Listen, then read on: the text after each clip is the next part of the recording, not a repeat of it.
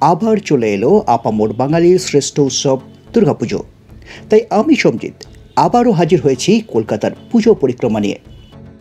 কলকাতার সেরা বারোয়ারি দুর্গাপুজোগুলো এবার কী চমক নিয়ে আসছে আমাদের জন্য? সেই সব নিয়েই শুরু করছি সেরা দুর্গাপুজো দু হাজার একুশ সিরিজ। আজ প্রথম পর্ব। দুর্গাপূজা পরিক্রমা দু হাজার একুশের শুভ সূচনা করতে আজ আমরা চলে এসেছি কলকাতার এমন এক ক্লাবে যারা মণ্ডপসজ্জা থেকে আলোকসজ্জা কিংবা সোনার অলঙ্কারে সজ্জিত প্রতিমা থেকে ভিড়ের রেকর্ড। প্রতিটা বিষয়ে বারবার ছিনিয়ে নিয়েছে সেরা সেরা তকমা। আপনারা বুঝেই গেছেন আমরা কোথায় এসেছি। হ্যাঁ চলুন, দুর্গাপূজা পরিক্রমা দু হাজার একুশের শুভ সূচনা করব আমরা শ্রীভূমি ক্লাব থেকে। চলুন।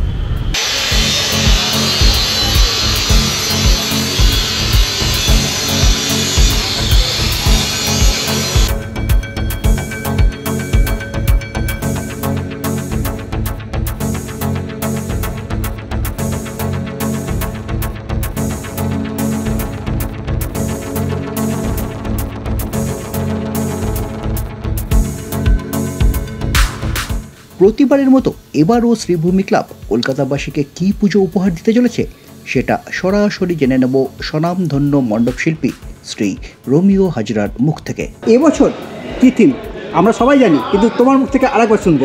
এবছর আমাদের থিম হচ্ছে বুর্জ খালিফা।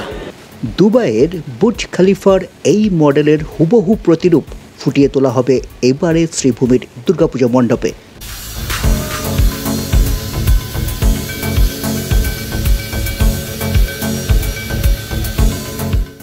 এই আইডিয়াটা এলো কোথা থেকে?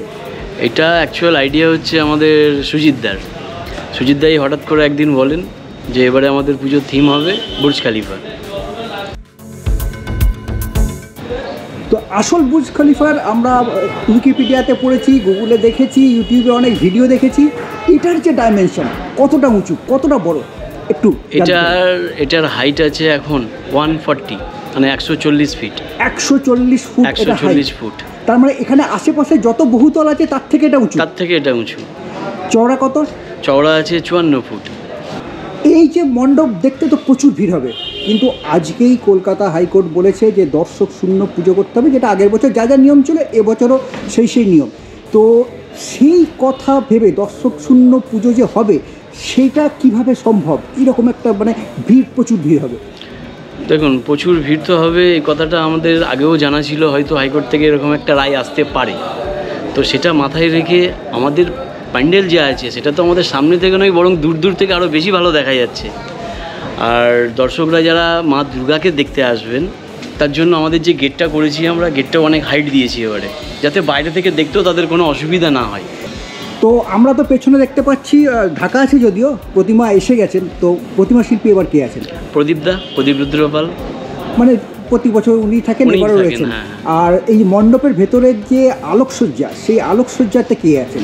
রিয়াজ আহমেদ। আর বাইরের যে আলোকসজ্জা? বাবু পাল। মানে প্রতি বছর যাদের আমরা হ্যাঁ, পাই হ্যাঁ, এবছর আমরা তাদেরকেই আমরা পাচ্ছি। হ্যাঁ।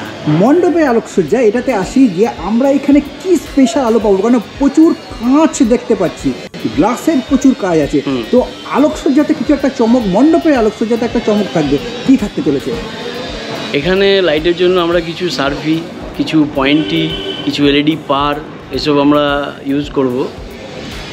তো সেটা কখনো রেড হয়ে যাবে কখনো গ্রিন হয়ে যাবে কখনো ব্লু হয়ে যাবে এরকম করে হতে থাকবে। অনেক অনেক ধন্যবাদ এবং পুজোর অগ্রিম শুভেচ্ছা। আপনাকেও। উদ্বোধনের আগে পুরো মণ্ডপ জুড়ে চোখে পড়ল শিল্পীদের চূড়ান্ত ব্যস্ততা।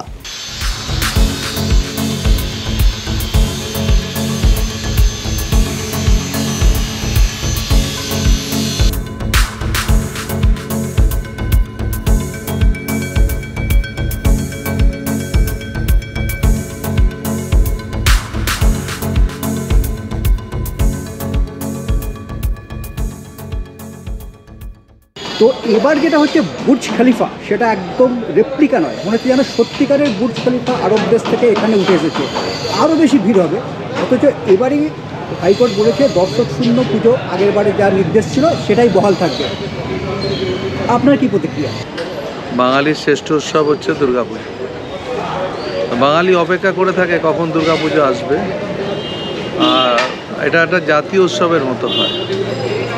তা সুতরাং এই কটা দিন মানুষ সব কিছু ভুলে তারা ঠাকুর দেখতে বেরোয়। তো এবারেও ঠাকুর দেখতে আসবে আমার বিশ্বাস গতবারও এসেছিল। কিন্তু যা যা নিয়ম আছে সেই নিয়মগুলো মেনেই সবাইকে ঠাকুর দেখতে হবে। এটা সরকারের যা গাইডলাইন আছে কোর্টের যা বাটিক আছে সেগুলো মেনেই করতে হবে সব কিছু উদ্বোধনের সম্ভাব্য দিন? এখনও পর্যন্ত উদ্বোধনের দিন ঠিক হয়নি। তারা আমরা মাননীয় মুখ্যমন্ত্রীকে প্রতিবার আবেদন জানি এবারও আমরা আবেদন জানিয়েছি। আমরা জানতে পারি আগে তার থেকে তারপরে আমরা দিন ঠিক করব। আমরা এমনি কোনো নির্দিষ্ট দিন দেখে তাকে যে তার সুবিধা মতো তিনি কী করতে পারবেন সেটা তার ডিপার্টমেন্টে চিঠি পাঠিয়েছি। প্রতিবার যেরকম আমরা দেখি মহালয়া বা তার আগেই শ্রীভূমির উদ্বোধন হয়ে যায় এবারও কি সেই সম্ভাবনা রয়েছে? এটা এক্ষুনি বলতে পারব না। পরে জানাব আপনার অনেক অনেক ধন্যবাদ কলকাতাবাসীকে এরকম সুন্দর একটা পুজো উপহার দেওয়ার জন্য। অনেক অনেক শুভেচ্ছা পুজোর অগ্রিম শুভেচ্ছা। আপনাকে ধন্যবাদ।